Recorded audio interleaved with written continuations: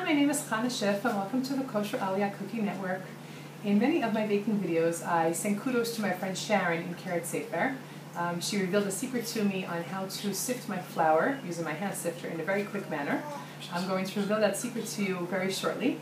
Uh, before I do that, I just wanted to show you pictures of two of the sifters that you might find in the stores. The first picture is a sifter with large holes. That one is used for hummus, um, chickpeas, and for couscous and for rice.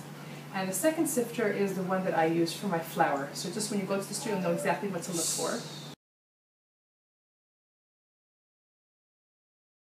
So I'm going to show you the secret. Uh, I just want to show you my sifter.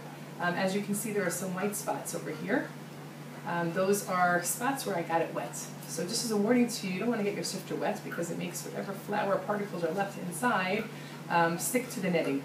And you don't want to do that because it takes a little longer because there are less holes for the flour to go through. So just be careful, try to keep it as dry as possible. Okay, and now for the secret on how to sift your flour very quickly by hand. Um, it used to take me half an hour to sift one kilo of flour. Now I take two knives, two metal knives, and you're going to put them into your sifter, just like this. And you're going to put your flour in. And as you see here, I have prepared, I have my bag. This is how I sift my flour all the time. I have a plastic bag here. It's a regular garbage bag.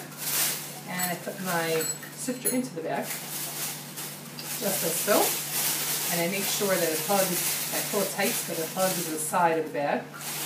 Okay, and I open up my bag of regular white flour. And I'm going to pour it in.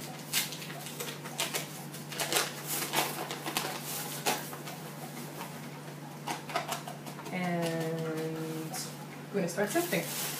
Hold it tight bag so it doesn't loosen up, and you're just going back and forth, in a back and forth motion. And it takes about, I don't know, about three minutes to sift this bag of flour. And as it gets closer to the end of the whatever's left, yes, you can hear the knives going back and forth. It's kind of like a grinding motion, which makes the flour go through the holes much quicker. And I'm going to show you how it looks as it gets towards the end. Okay? As you can see, you see the flour falling to the bottom of the bag as I do it. It's coming out. I'm for the to hear the knocking of the knives together. Now, I don't know if you can see here, we're getting towards the end here. Um, I have very little flour left at the bottom, and I have my knives over here, still doing their work. And I'm still plugging the bag as I go.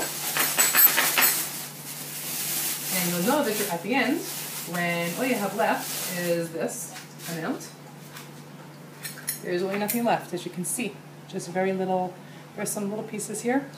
Um, and it goes through very quickly. Okay, so that's basically how it works. And you have your flour in your bag, and I store my flour in my freezer so that it's nice and fresh, stays fluffy and bug-free until the time that I'm ready to use it. Just as a side note, when I make to make dough or if I make challah, I like to take my flour out of the freezer about um, 10 minutes before to bring it to room temperature. I find that when I put it into the recipe straight from the freezer, it makes the dough get very tough very quickly. Um, when you bring it to room temperature and you incorporate it, it ends up just um, mixing up much better and making a finer and smoother dough. So just for yourself to know. Anyway, I hope that this helps. Um, of course, if you have an electric sifter, that's also one quick way to sift your flour. But if you have no choice but to use the hand one like I do, um, here is your Kiryat Sefer trick. Two little knives does all the work for you. Hope this helps and um, hope you can go ahead and get baking together. Have a great day.